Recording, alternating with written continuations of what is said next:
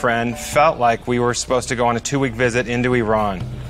And uh, had a great time.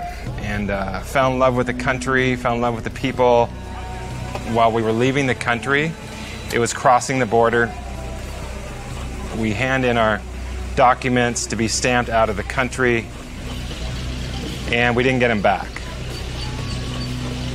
And it was about six hours later that they finally came back to us and said, There's a problem with your documents. And the reality is that I had dealt with before I went. Like, what if you have a problem? What if there could be complications being an American? Yeah, it all came to the surface. And I realized, wow, I could really have a problem like this is for real. And um, yeah, in my walk with the Lord and in many dangerous places, I've always seen God come through.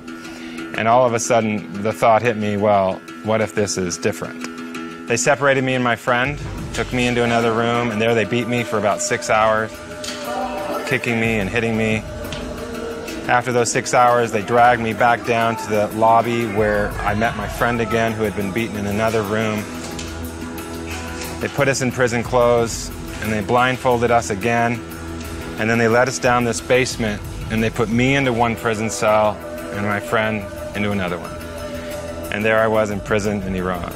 It was out of my hands. There was nothing I could do. Either God would do a miracle or I would stay there. There was no sense of feeling God. I, I, felt like God was far away.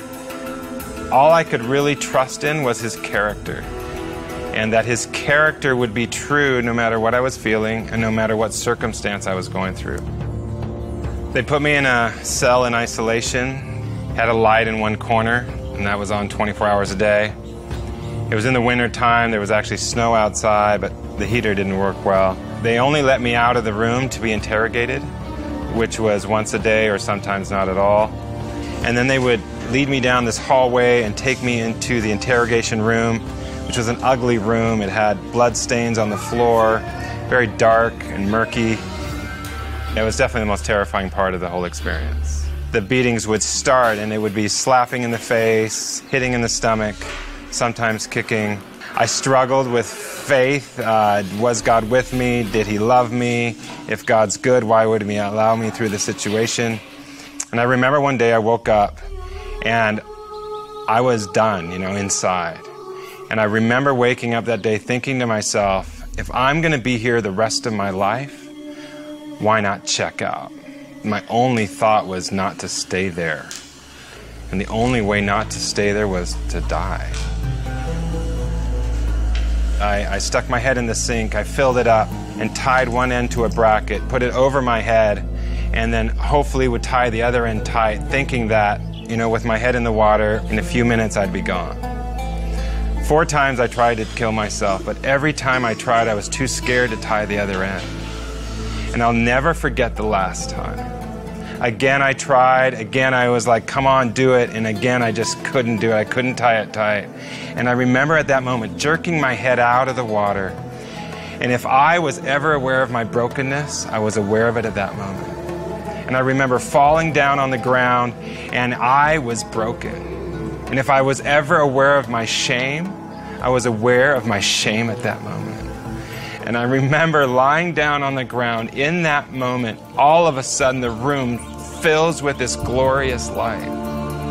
And I turn around to see what's going on, and there is Jesus. And he's standing in front of me with this big grin and smile on his face. And it was at that lowest point that he met me.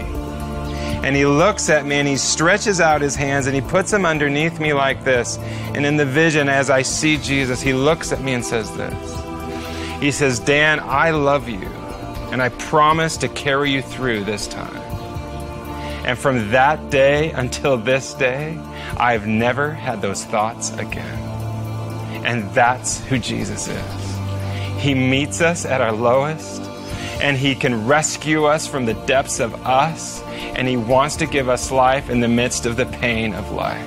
And He meets us and He loves us, and He wants to rescue us no matter what we're going through.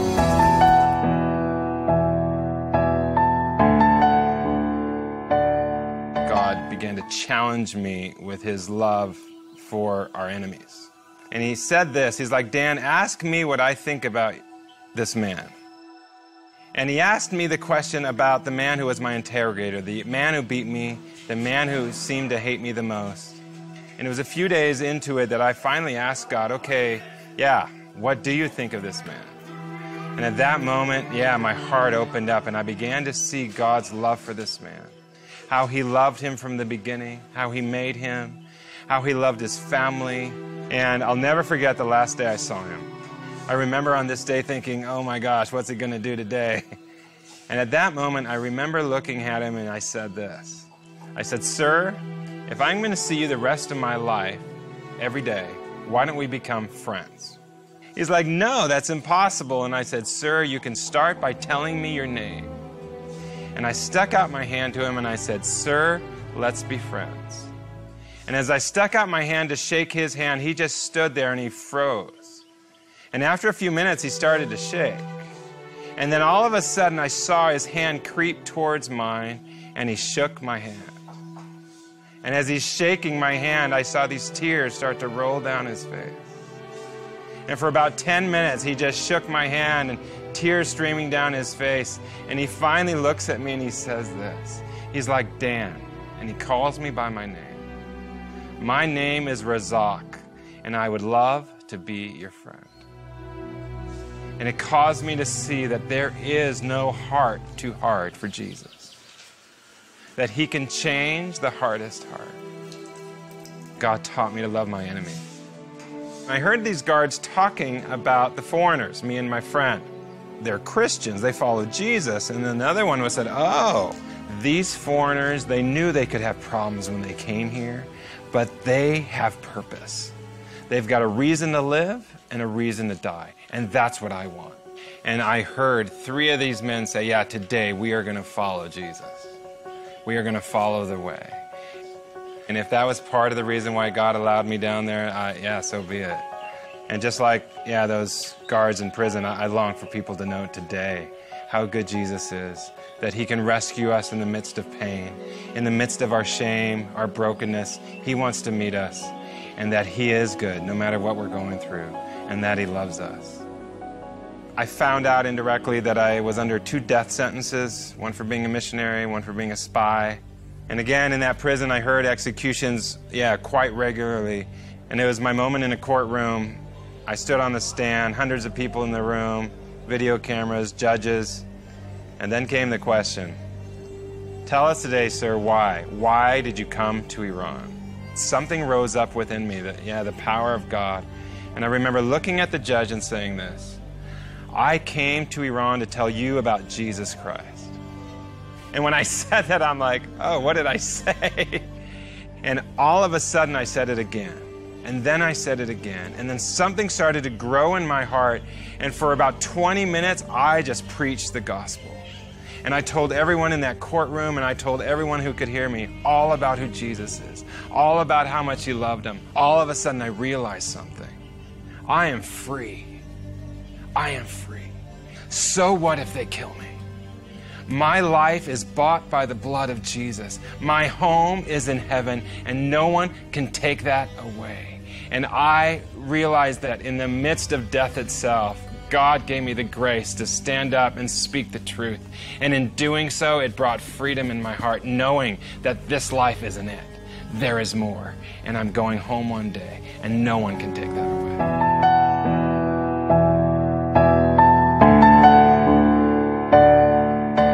My cell. And uh, at this point, my friend had been released. He'd been released a few weeks before me. I knew about that. And again, that brought questions of like, why is he going and not me? Yeah, it was just one morning where they just came to my cell. And they opened it up. They walked me down to this room and they said, get dressed. And I thought, well, this is my day of execution. Why else would I be getting dressed? Yeah, I went to the courthouse where I'd been before. And it was there that I sat down, and in walks the uh, head judge of all the courts of Iran. And to my surprise, he stands up and reads this testimony or this statement. And it basically said, because of our friendship with the nation of Switzerland, again, I don't know if I mentioned it, but I've been, I've been traveling on a Swiss passport. My dad is Swiss, I'm a dual citizen. And uh, yeah, he says, because of our friendship with the nation of Switzerland, we choose to release Dan Baumann, and he's a free man. And I couldn't believe it. and I thought I was going to die, and God said no. and yeah, the Swiss ambassador was in the room, and he walks up to me and he said, Mr. Baumann, you're coming with me. and I'm like, yes, sir. And I remember walking into his car and locking those doors. And yeah, that was the beginning of the rest of my life, you know. God rescuing me from myself, rescuing me from, from that prison cell. And for real, it was for real, I was free. That was the beginning of a new life. And the freedom to look at the sky, and the freedom to go for a walk, the freedom to call a friend on the phone, and all the freedoms I'd taken for granted, God gave them all back to me. Yeah, there's challenges in our lives, and there's challenges in the world, but God's great. And nothing compares to his greatness, nothing compares to his power. And if he can pull me out of a prison cell three stories down in the middle of Iran with death sentences on my life, he can rescue anyone. And he can rescue us from whatever we're going through. And it just gave me a big picture of how, how great he is.